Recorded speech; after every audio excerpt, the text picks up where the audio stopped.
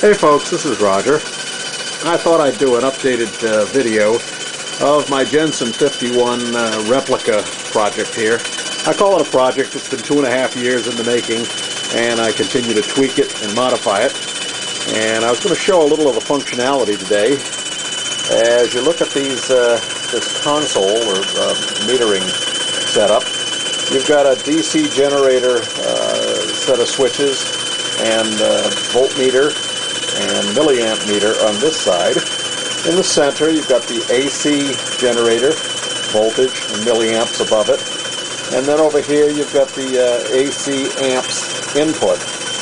And if you can read that right now, it's taking about 11 amps uh, of heat uh, using uh, two of the three heaters to maintain a pressure. Let's zoom in on the pressure there.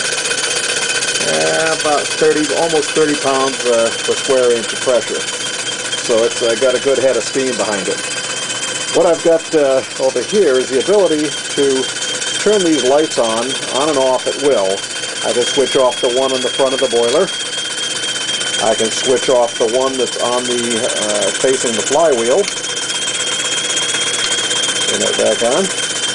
I can turn the one on and off that controls the console or covers the console. I can turn the one on and off that shines on the generator pod in the rear. And the newest one I added, you can't see it yet because I'm going to turn it on here in a moment, is a light that comes on when I activate the DC motor switch.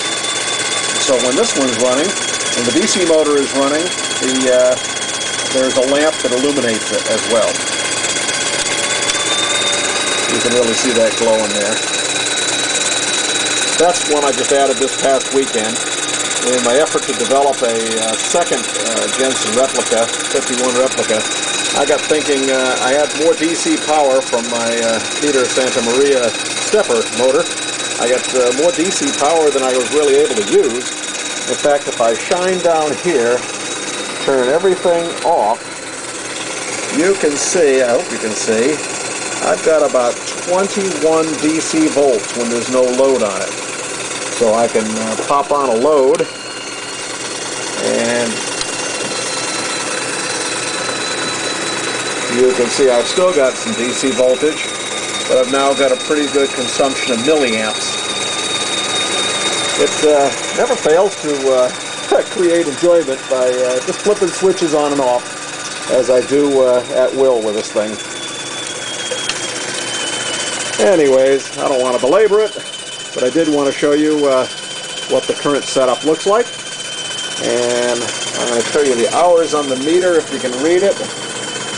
That's uh, eight, well, dang, you can't read it. It's about 85 hours is what it's saying, 85 and a half hours.